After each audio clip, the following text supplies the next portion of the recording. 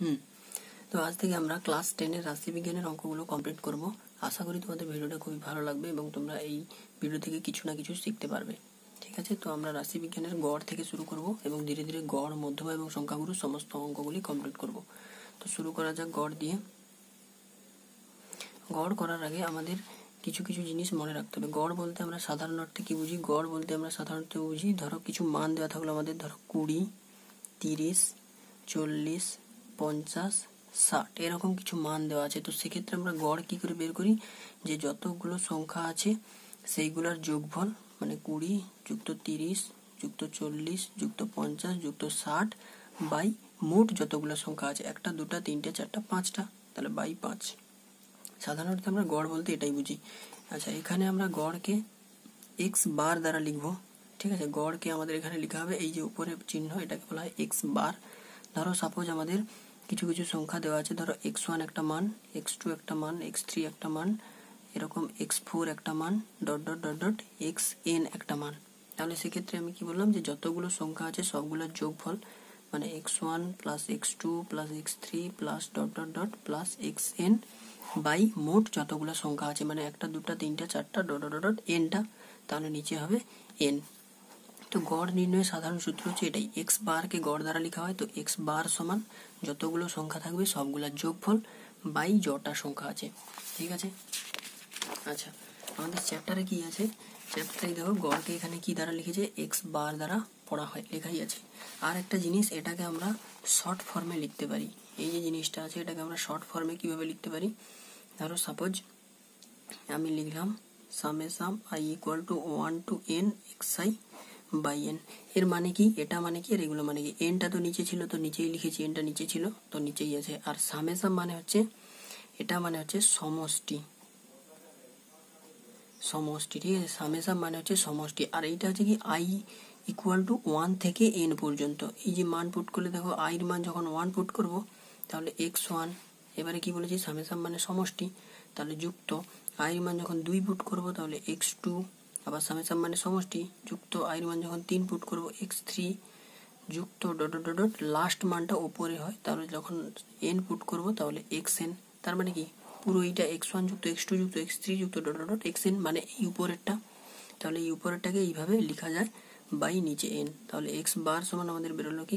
Summation i equal to one to N X i by N এর মানে কি? এইটা হচ্ছে সামেসাম বা সিগমা বলা হয়, এই চিহ্নটাকে। সামেসাম বা সিগমা, আর এটা মানে হচ্ছে সমষ্টি। যে তোমাদের বইতেই লেখা আছে সামেসান চিহ্নটিকে বলা হয় ক্যাপিটাল সিগমা, যার অর্থ হলো সমষ্টি। ঠিক আছে?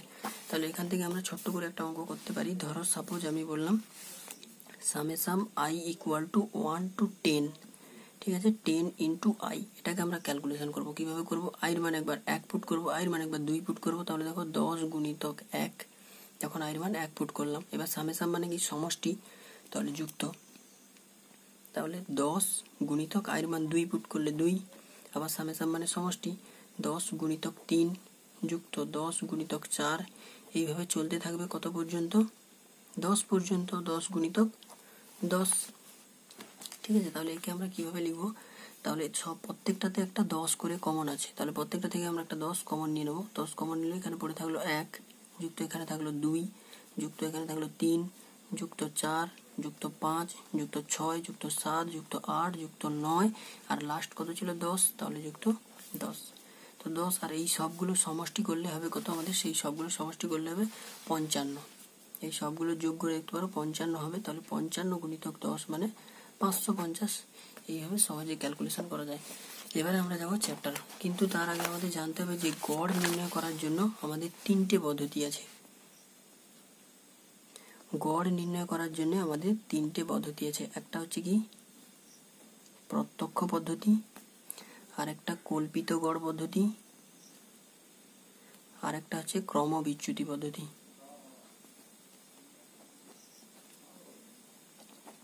ক্রমবিচ্যুতি পদ্ধতি। এই তিনটি পদ্ধতি আছে, তো আজকে আমরা প্রত্যেকটা পদ্ধতি দিয়েই চ্যাপ্টারে একটা একটা অঙ্ক করব এবং প্রত্যেকটা পদ্ধতি ওখানেই সলভ করে দেবো। তো চ্যাপ্টারের ফার্স্ট অঙ্ক দিয়ে শুরু করা যাক। চ্যাপ্টারের ফার্স্ট অঙ্কটা কি আছে? দেখো ফার্স্ট অঙ্কটা আছে, বয়স দেওয়া আছে কিছু কিছু। আচ্ছা একটা জিনিস বলে দিই, যখন এরকম দেখো পাঁচের দাগের অঙ্কটা দেখো, পাঁচের দাগের অঙ্কটাতে কি শ্রেণি দেওয়া ছিল? এটাকে শ্রেণি বলা হয়, পাঁচের দাগের অঙ্কগুলো শ্রেণি দেওয়া ছিল। আর এখানে দেখো, এমনি মান দেওয়া আছে। তো যখন এমনি মান দেওয়া থাকবে মানে এখানে আমার দেওয়া আছে, দেখো, পনেরো ষোলো, সতেরো, আঠেরো, উনিশ, কুড়ি। আর দেওয়া আছে চার, সাত, দশ দশ, পাঁচ, চার। তো একটা জিনিস মনে রাখবে, এই যে নিচে যে মানগুলো আছে, নিচেরগুলো সবসময়ের জন্য ফ্রিকুয়েন্সি হয়। মানে ফ্রিকুয়েন্সি মানে এফআই বা পরিসংখ্যা। তো এফআই এটাকে আমরা লিখে নিলাম, নিচেরগুলো সবসময় এফআই হয় বা ফ্রিকুয়েন্সি হয়। আর যদি শ্রেণি না দেওয়া থাকে মানে পাঁচের দাগের অঙ্কটাতে শ্রেণি দেওয়া আছে আর একে দাগের অঙ্কটাতে শ্রেণি দেওয়া নেই। তো যখন শ্রেণি না দেওয়া থাকবে, তখন ওটা হয় এক্স আই মানে শ্রেণি মধ্যক। যদি শ্রেণি না দেওয়া থাকে, তাহলে এটাই হচ্ছে এক্স আই উপরেরগুলো। এটাকে বলা হয় শ্রেণি মধ্যক। তো আমাদের প্রত্যক্ষ পদ্ধতিতে, এখানে দেখো প্রত্যক্ষ পদ্ধতিতে অঙ্কটা করতে বলেছে। তাহলে প্রত্যক্ষ পদ্ধতিতে গড়ের সূত্রটা আগে লিখে দিই। যে যৌগিক গড়, গড়কে কি বললাম? এক্স বার দ্বারা লেখা হয়। প্রত্যক্ষ পদ্ধতিতে যৌগিক গড়ের সূত্র হচ্ছে summation F i X i by summation F i তাহলে আমাদের এক্স আই জানা অঙ্কে এফ আই জানা অঙ্কে সব দেওয়া আছে, কিন্তু আমাদের লাগবে কি? এফ আই এক্স আই তাহলে আমরা এখানে আরেকটা ছক করে লিখতে পারি এফ আই এক্স আই মানে এফ আই এবং এক্স আই এর গুণফল। আমাদের অঙ্কে এফ আই জানা এক্স আই জানা তাদের গুণ করব, তাহলে পনেরো চারে ষাট। আর একশো বারো, ষোলো সাথে সতেরো দশে একশো সত্তর, আঠেরো দশে একশো আশি, উনিশ পাঁচে পঁচানব্বই, আর কুড়ি চারে আশি। ঠিক আছে, সবগুলো বের করে নিলাম। এবারে আমাদের কি লাগবে যে সামেসাম এফআই এক্সআই সামেসাম মানে কি সমষ্টি? এফআই এক্সআই এর সামেসাম মানে এফআই এক্সআই এর সমষ্টি। তাহলে এই যে এফআই এক্সআই আছে, তাদের সমষ্টি বের করব। তাহলে summation F i X i equal to এরা যোগ করলে হবে পাঁচ, দুই, সাত, আর আট, ন, আট, সতেরো। সতেরো, আঠারো, উনিশ, কুড়ি, একুশ, বাইশ, তেইশ, চব্বিশ, পঁচিশ, ছাব্বিশ, সাতাশ, আঠাশ, উনত্রিশ, তিরিশ, একত্রিশ, বত্রিশ, তেত্রিশ চৌত্রিশ, পঁয়ত্রিশ, ছত্রিশ সাঁত্রিশ আটত্রিশ, উনচল্লিশ, উনচল্লিশের নয়। হাতে থাকল তিন দশক। তিন, চার, পাঁচ, ছয়। মানে ছশো সাতানব্বই। ঠিক আছে? ছশো সাতানব্বই বেরোলো। আর কি লাগবে আমাদের? সামেসাম এফআই মানে এফআই এর সমষ্টি। তাহলে এই যে আমাদের অঙ্কে লেখা ছিল এফআই তাহলে এদের সমষ্টি। মানে সামেসাম এফআই ইকুয়াল টু তাহলে পাঁচ, চার, নয়, ন, সাত, ষোলো ষোলো, চারে কুড়ি। কুড়ি কুড়ি, চল্লিশ। ঠিক আছে, এবার আমরা সূত্রে জাস্ট মানটা পুট করে দিলেই উত্তর। তাহলে আমাদের বেরোলো কত? সামে সামে পাই এক্স আই মানে ছশো সাতানব্বই বাই নিচে চল্লিশ। এবারে ক্যালকুলেশান সহজেই করা যায়, কীভাবে করা যাবে? ছশো সাতানব্বইকে এরকম লিখতে পারি, চার গুণিতক দশ। তাহলে ছশো সাতানব্বইকে চার দিয়ে ভাগ করব। তাহলে দেখো ছশো সাতানব্বইকে চার দিয়ে ভাগ করলে হচ্ছে কত? চার একে চার, হাতে থাকল দুই, নয়, চার সাতে আঠাশ। হাতে থাকল এক, সতেরো, চার চারে ষোলো, এক। ঠিক আছে, এবারে দশমিক, তাহলে চার দুগুণে আট, দুই, শূন্য, চার, পাঁচে কুড়ি। তাহলে আমাদের বেরোলো কত? একশো চুয়াত্তর দশমিক দুই পাঁচ, চার দিয়ে ভাগ করতে আর নিচে একটা তো দশ ছিলই অলরেডি ঠিক আছে, এবারে কি এই দশটার জন্য এক ঘর দশমিক এদিকে সরে যাবে? তাহলে সতেরো দশমিক চার দুই পাঁচ, উত্তর। এটাই হচ্ছে আমাদের উত্তর। এবারে যেমন নেক্সট কোয়েশ্চেন হুম। এবার দেখো আমাদের দুয়ের দাগের অঙ্কটা কি দেওয়া আছে? দুয়ের দাগের অঙ্কটাতে বলা আছে পঞ্চাশটি পরিবারের সদস্য সংখ্যা দেওয়া আছে এবং পরিবারের সংখ্যা দেওয়া আছে। সেখান থেকে আমাদের পঞ্চাশটি পরিবারের গড় সদস্য সংখ্যা কিন্তু কল্পিত গড় পদ্ধতিতে নির্ণয় করতে বলেছে। তাহলে এখানে আমরা করব কি? কল্পিত গড় পদ্ধতিতে নির্ণয় করব। আমি কি বললাম? যদি শ্রেণি না দেওয়া থাকে তাহলে উপরেরটাই আমাদের এক্স আই আর নিচেরটা এফ আই দেখো এখানে আমাদের শ্রেণি দেওয়া ছিল না, তাই আমি তুলে নিয়েছি। উপরেরটা হচ্ছে আমাদের এক্স আই আর নিচেরটা হচ্ছে এফআই এবার আমাদের কল্পিত গড় করতে হলে তার সূত্র হচ্ছে A plus summation F i D i by summation F i এটা হচ্ছে কল্পিত গড়ের সূত্র। এবারে কি এই সূত্র থেকে আমরা অঙ্ক করব কি করে? ফার্স্ট আমাদের কি এ বের করতে হবে। তাহলে আমরা এ বের করব কি করে? এ বের করানোর সহজ নিয়ম হচ্ছে এখানে কটা শ্রেণি আছে গোনা। দেখো মানে কটা আছে গোনা। একটা, দুটা, তিনটা, চারটা, পাঁচটা, ছটা। ছটা মানে মাঝে মাঝে যেটা পড়বে সেটাই। দেখো, নিচ থেকে দুটা বাদ, উপর থেকে দুটা বাদ। তো মাঝে কটা আছে? দুটো। তো এই দুটোর মধ্যে আমরা যে কোনো একটা নিতে পারি। এই যে উপর থেকে দুটা বাদ, নিচ থেকে দুটা বাদ, আর মাঝে দুটো আছে। তো এই দুটার মধ্যে আমরা যে কোনো একটাকে এ ধরতে পারি। যে কোনো একটাকে এ ধরলেই হবে। তো ধরো সাপোজ আমি উপরেরটাকে এ ধরলাম। এটা কিন্তু এক্সাইতে ধরা হবে এটা। এটা শ্রেণি মধ্যকেই ধরা হবে। ঠিক আছে? তো এক্সাইতে এটা ধরলাম, তার মানে এর মান এই দুটোর মধ্যে যে কোনো একটা। যদি ছটা থাকে, যদি পাঁচটা থাকতো, ধরো সাপোজ এটা আমার নেই, পাঁচটা। তাহলে কি নিচ থেকে দুটা বাদ, উপর থেকে দুটা বাদ, মাঝে যেটা পড়বে সেটাই আমাদের এর ভ্যালু কিন্তু এখানে যেহেতু আমাদের ছটা আছে, তাহলে নিচ থেকে দুটা, উপর থেকে দুটা, মাঝে যেহেতু দুটো পড়েছে, তো দুটোর মধ্যে আমরা যেটা নিতে পারি। যেটা নেব সেটা দিয়েই অঙ্ক হবে। তাহলে ধরো আমি উপরেরটাকে চার নিলাম উপরের চারটাকে এ নিলাম। তাহলে আমাদের এর মান কত বেরোলো? চার। তাহলে আমরা অঙ্কে এ পেয়ে গেছি, এর মান বসিয়ে দেবো চার। এবারে আমাদের লাগবে কি সামে সাম এফ আই সামে সাম এফ আই মানে কি? এফ আই এর সমষ্টি। এই যে এফ আই আমাদের বের করানো ছিল সেগুলোর সমষ্টি বের করব। তাহলে সামে সাম এফ আই মানে হচ্ছে চার, তিন, সাত। সাত ছ চার দশ দশ আর সতেরো, পঞ্চাশ হচ্ছে। তাহলে পঞ্চাশ।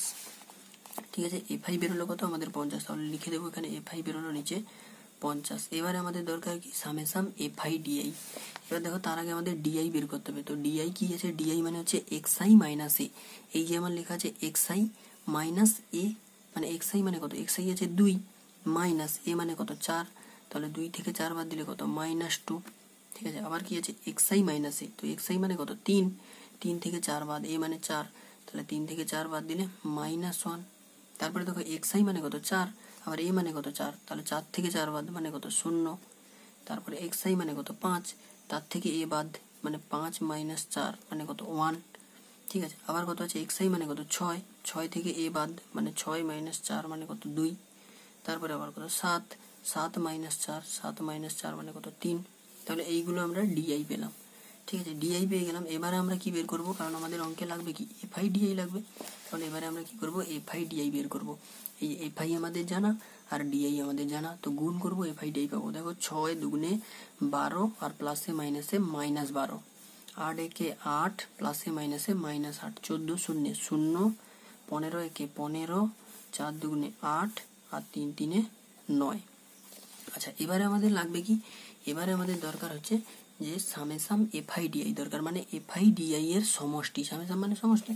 তাহলে এই যে এফআই ডিআই লেখা আছে, তাদের সমষ্টি বের করব। তাহলে সামেসাম এফআই ডিআই এবার আমাদের এদের যোগ করলে কি এই দেখো প্লাস আট মাইনাস আট বাদ। আর মাইনাস বারো আর প্লাস পনেরো মানে প্লাস তিন। প্লাস তিন আর নয়। তাহলে ন তিন, নয়, দশ, এগারো, বারো মানে প্লাস বারো। প্লাস বারো আমরা পেলাম। এবারে আমরা অঙ্কে পুট করে দেবো মানটা। তাহলে প্লাস বারো। ঠিক আছে? একটু কাটাকাটি করব। দুই দিয়ে কাটলে দু ছয়, বারো আর দুই পঁচিশে পঞ্চাশ। তাহলে আমাদের বেরোলো কত? চার প্লাস ছয় বাই পঁচিশ। এবারে আমরা কি করব? এই ছয় বাই পঁচিশটাকে ভাগ করব, ভগ্নাংশের যোগ না করে। তাহলে ছয়কে পঁচিশ দিয়ে ভাগ করব। ভাগ যাবে না, তার জন্য একটা দশমিক, একটা শূন্য নামাবো। তাহলে পঁচিশ দুগুণে পঞ্চাশ নামলো কত? দশ। এবারে দশমিক দিয়েছিলাম, তার জন্য একটা শূন্য। তাহলে পঁচিশ চারে একশো ভাগ মিলে গেছে, তাহলে আমাদের বেরোলো কত? চার যুক্ত শূন্য দশমিক দুই চার। তাহলে চারের সঙ্গে শূন্য দশমিক দুই চার যোগ করলে হবে চার দশমিক দুই চার। এটা আমাদের উত্তর। এরপরে আমরা তিন নম্বর কোশ্চেনে যাব। হুম, এবার দেখো তিনের দাগের অঙ্কটা কি বলেছে? তিনের দাগের অঙ্কটা আমাদের দিয়েছে কি? এক্স আই বলেছে যে নিচের প্রদত্ত তথ্যের যৌগিক গড় একটা দেওয়া আছে। যৌগিক গড়টা এখানে দেওয়া আছে মানে এক্স বারের মানটা দেওয়া আছে। এক্স বারের মানটা দেওয়া আছে কুড়ি দশমিক ছয়। সেখান থেকে আমাদের এ বের করতে বলেছে এবং অঙ্কের মধ্যে একটা এ দিয়েছে। এই দেখো, চলের মধ্যে একটা এ আছে।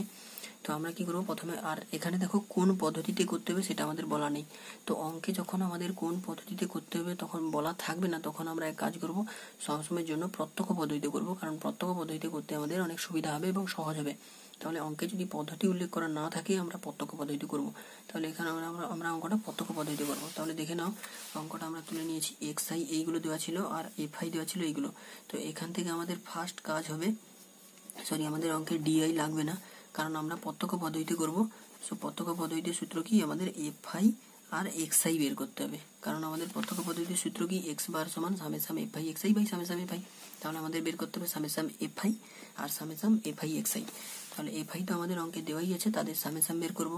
তাহলে সামে সাম এফ আই সমান সাত পাঁচ বারো বারো পাঁচে সতেরো সতেরো তিনে কুড়ি।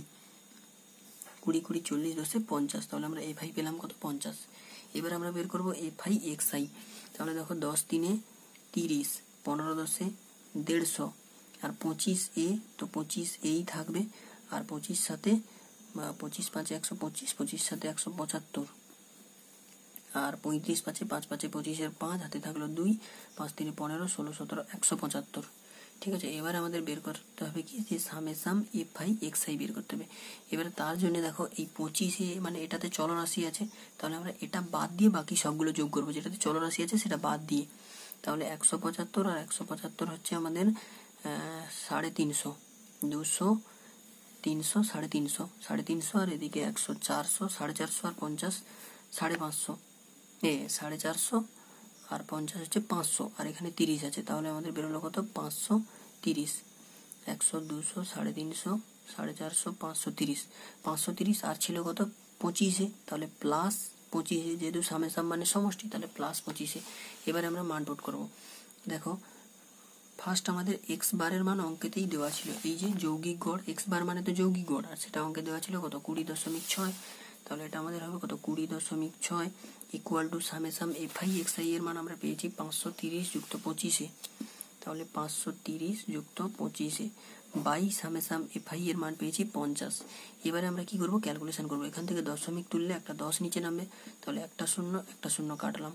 বা আমরা কোনাকুনি গুণ করব। এক দিয়ে গুণ করলে হচ্ছে পাঁচশো তিরিশ যুক্ত পঁচিশ একে পঁচিশে। আর এদিকে গুণ করলে হচ্ছে ছ পাঁচে তিরিশের শূন্য, তিন আর পাঁচ দুগুণে দশ, হাজার তিরিশ। বা পাঁচশো তিরিশটা উপাসে নিয়ে যাব, তাহলে পঁচিশে পঁচিশে থাকল পাঁচশো তিরিশটা উপাসে নিয়ে গেলে এধারে প্লাস ছিল। ওধারে নিয়ে গেলে মাইনাস হবে। তাহলে হাজার তিরিশ মাইনাস পাঁচশো তিরিশ বা পঁচিশে ইকুয়াল টু হাজার তিরিশ থেকে পাঁচশো তিরিশ বাদ দিলে হচ্ছে পাঁচশো বা এ ইকুয়াল টু পাঁচশো বাই পঁচিশ পঁচিশ দুইয়ে পঞ্চাশ মানে কুড়ি বা এ ইকুয়াল টু কুড়ি, তাহলে আমাদের অঙ্কে এর মান চেয়েছিল, তো এর মান বেরিয়ে গেল। আশা করি তোমরা বুঝতে পেরেছ। এবারে নেক্সট ক্লাসে আমরা চারের দাগ থেকে শুরু করব।